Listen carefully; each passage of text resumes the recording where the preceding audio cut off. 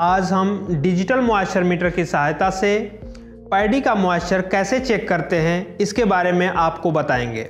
जब कभी हम मॉइस्चर मीटर की सहायता से किसी भी कमोडिटी का मॉइस्चर चेक करते हैं तो सर्वप्रथम हम उसमें से फॉरेन मटेरियल्स को सेपरेट कर देते हैं, यानी उससे अलग कर देते हैं।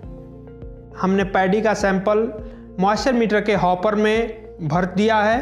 अब इस हॉपर को हम मॉइस्चर मीटर के ऊपर अरेंज करेंगे। तो जैसा कि आप देख रहे हैं, मैंने मॉइस्चर मीटर के कैविटी के ऊपर इस हॉपर को अरेंज कर दिया।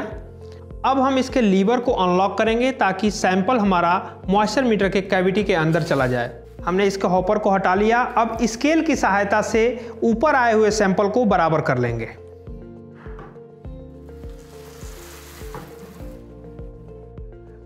इसके बाद में हम यहाँ देखेंगे कि सीरियल नंबर कितने पे पैडी है। तो जैसा कि इस मॉइस्चर मीटर में सीरियल नंबर तीन पर पैडी है और फुल वॉल्यूम हमने इसमें डाला है तो हम तीन नंबर का बटन दबाएँगे।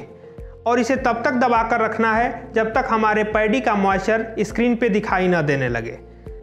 तो जैसा कि आप हमारे स्क्रीन पर देख पा रहे हैं 9.99 परसेंट यही हमारा पैडी का मॉइस्चर हुआ।